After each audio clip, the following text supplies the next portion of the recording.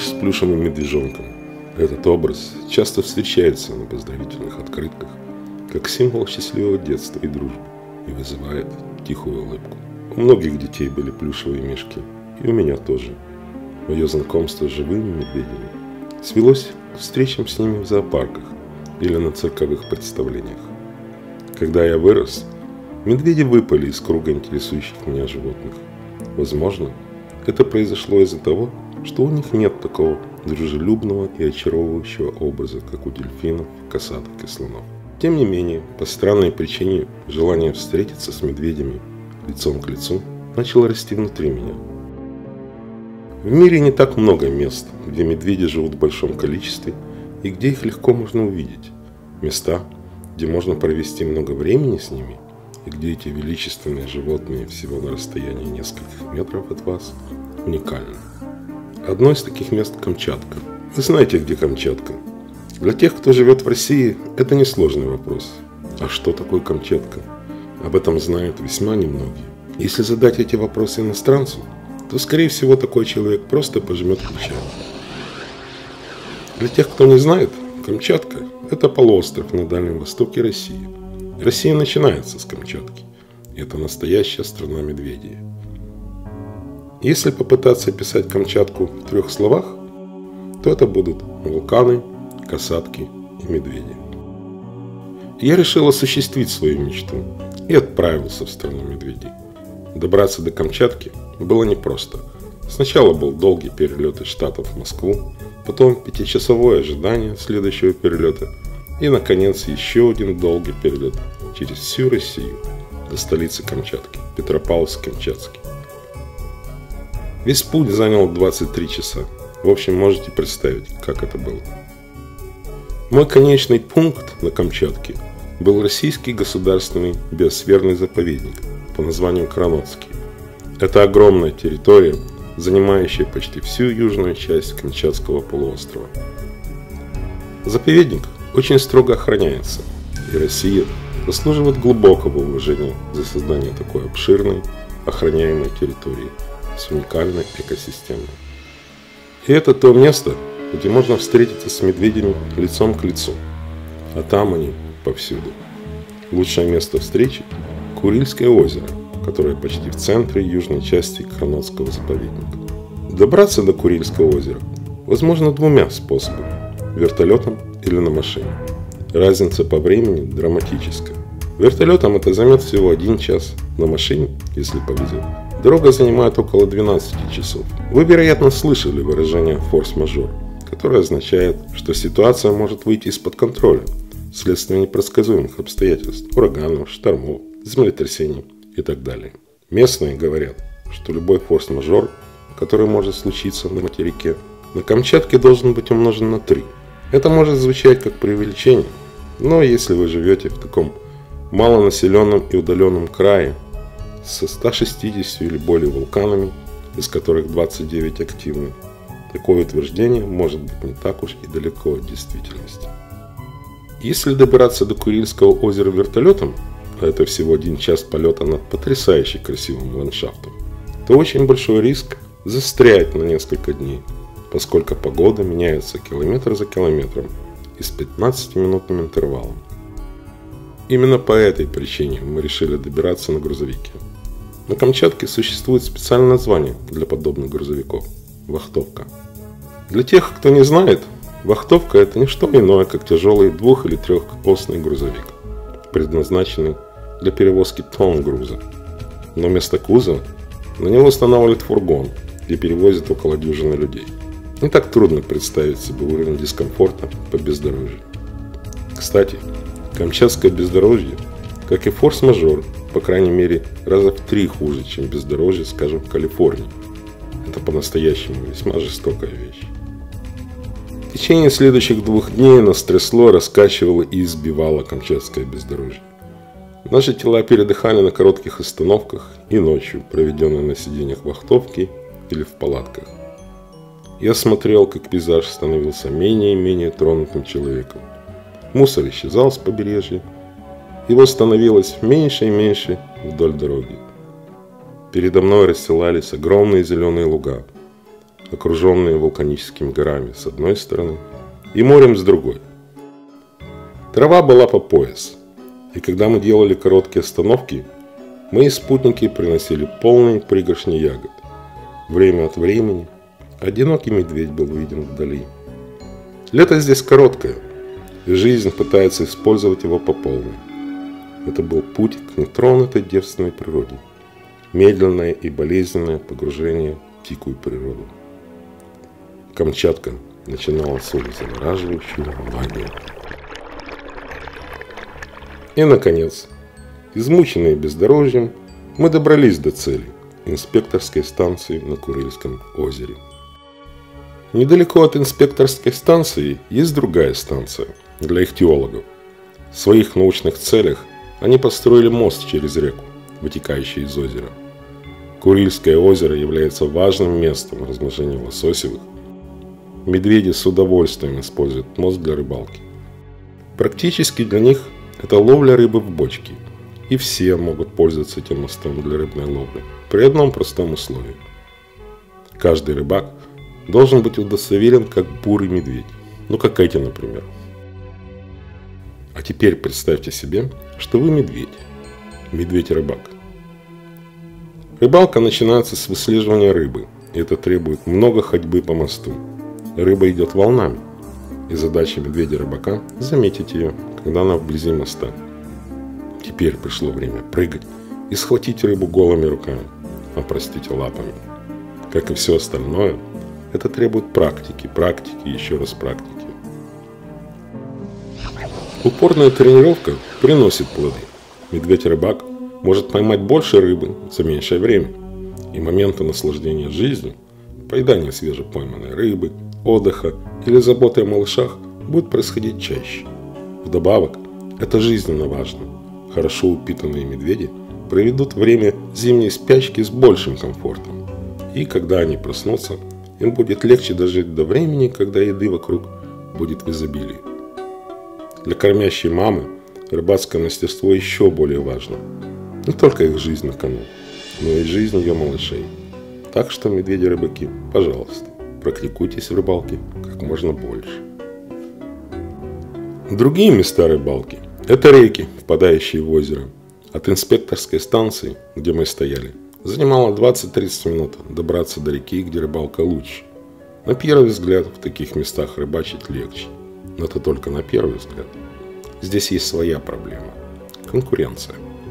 Медведей рыбаков много, их умение ладить с другими медведями жизненно необходимо. Но давайте начнем все по порядку.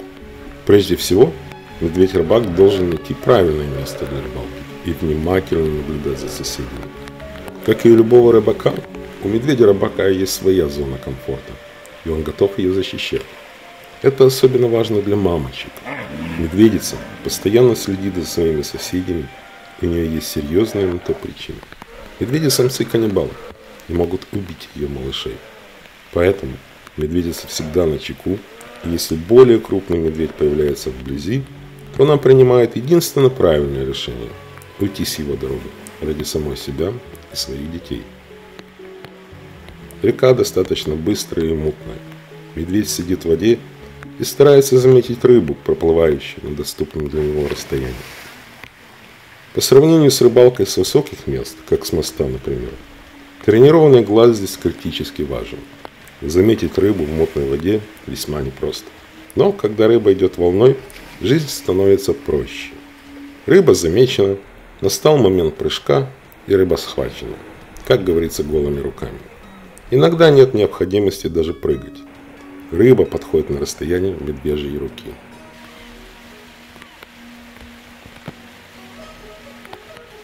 Если рыбы много, то успех высок. Ну а если одиночные рыбы плывут вверх по течению, то время ожидания будет дольше.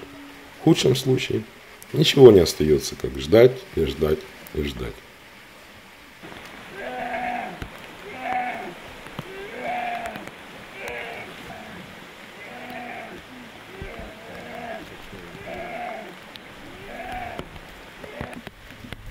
Конце концов рыба поймана, и наступает время пиршества. И теперь понимание межмедвежьих отношений вновь вступает в силу. Если медведь поймал рыбу, а ее не так много вокруг, более крупный медведь может начать требовать ее для себя. Некоторые медведи достаточно сообразительны и уносят свой улов в лес, чтобы не провоцировать более матерых соседей. Это весьма умно. Поймать рыбину, уйти в лес и в безопасности наслаждаться своим уловом. В этом месте медведей много, и для молодых медведей не так просто найти хорошее место для рыбалки, поскольку они не готовы бросить вызов более зрелым и крупным медведям. Тогда они пользуются другим способом рыбной ловли. Вместо того, чтобы сидеть в реке и ждать, когда рыба проплывет мимо, они уходят на озеро и ищут рыбу под водой. Это выглядит почти как плавание с трубкой и маской. Иногда они просто ныряют, чтобы поймать рыбу. Медведи хорошо видят под водой.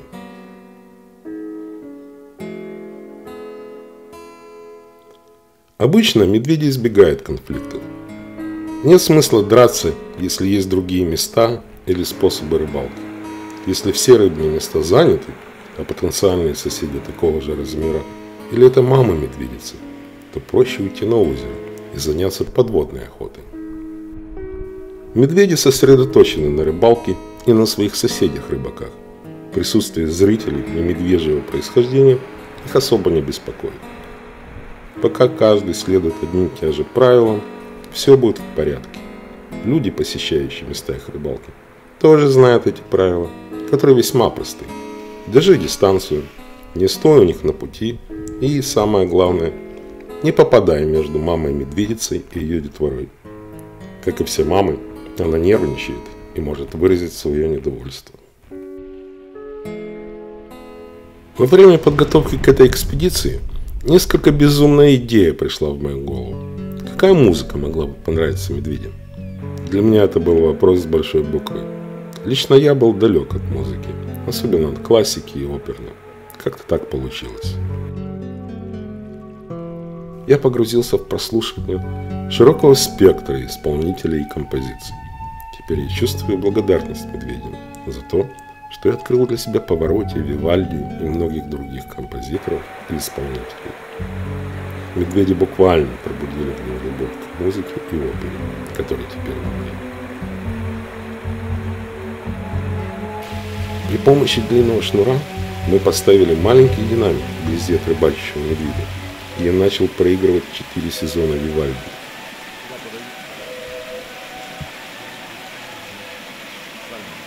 Как видите сами, Вивальди не произвел большого впечатления на этого медведя.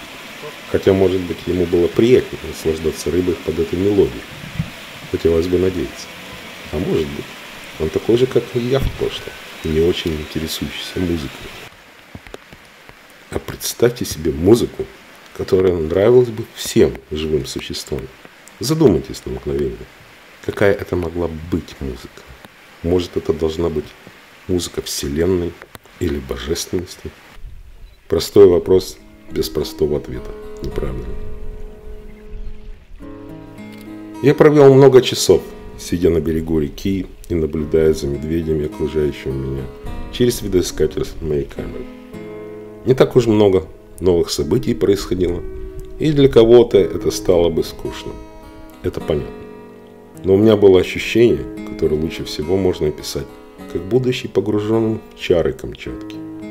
Место, где я был лицом к лицу с медведями – было точкой соприкосновения с чем-то гораздо большим. Я сравниваю это место с огромной чашей чая, а я был маленьким кусочком сахара, брошенным на нее. Я чувствовал себя растворенным в этой суровой природе и стал частью ее. Я стал частью озера, частью вулканов, частью медведей. Мое существование как индивидуума исчезло. Я был в воздухе этого места и в небе над ним – смотрящим на медведей, озеро и облака, покрывающие вулканы, с восхищением, изумлением от окружающей красоты, и все эти чувства были пронизаны любовью. Я мог бесконечно смотреть на медведей, ловящих рыбу, играющих друг с другом или заботящихся о своих детях, и чувство скуки не возникало. Я вдыхал пульс жизни в целом, сердцебиение Вселенной, и мое сердце билось так с ним – я был счастлив. С самого момента нашего рождения мы все часть чего-либо. Часть семьи, часть круга своих друзей, часть своей страны и так далее. Быть частью чего-то большего – это природное качество, заложенное в каждом из нас. Здесь, на Камчатке, я почувствовал себя частью чего-то неизмеримо большего, частью непостижимо огромного, частью Вселенной. Кранотский заповедник – уникальное место. Здесь никому не позволено разрушать природу, нарушать ее первозданность. В этом месте люди не правители, они защитники и хранители. И поэтому медведи и природа в целом процветают. И каждая крупинка ее живет своей собственной жизнью. Медведи живут медвежьей жизнью, лисы живут лисьей жизнью, и реки живут жизнью рек. Все эти жизни свято ценятся и защищены. Но что насчет медведей за пределами этого места? Защищены ли они? Мне бы очень хотелось дать утвердительный ответ по отношению ко всей Камчатке, но, к большому сожалению, я не могу. Я видел останки освежеванных медведей вдоль дороги и когти медведей, продающихся в качестве сувениров. В интернете я видел объявление об охоте на медведей с вертолета. Я слышал рассказ местного рыбака о расстрелах медведей, когда они приходили кормиться тушей кита, выброшенного на берег. После личного знакомства с медведями все эти рассказы были ужасающими, раздирающими душу. Наш обратный путь из Кронотского заповедника в цивилизованный мир был отмечен растущим количеством мусора на побережье моря и свалок вдоль дороги. Чем ближе мы приближались к более и более населенным местам, тем грустнее становилось и вокруг, и на душе. Неужели человеческая сущность в том, чтобы убивать, разрушать и загаживать все вокруг себя? В чем смысл существования всех этих людей, ответственных за деградацию нашей прекрасной планеты? Я думаю, что каждый из нас должен попытаться найти ответ на простой вопрос. Зачем я здесь? Я искренне верю, что лично я попал в этот мир, чтобы сделать его лучше. Может, хоть чуточку, но лучше. А вы? Теперь я вернулся домой, к своей семье и к своей работе. Я часто вспоминаю моменты этой экспедиции и неожиданно интересных и мудрых людей, с которыми мне посчастливилось повстречаться. Камчатка перестала быть землей неизведанной для меня. Теперь эта земля завораживающая. Она живет в моей душе. Ее магическая красота возникает внутри меня снова и снова. Я слышу ее зов. Придет день, и я вернусь к ней.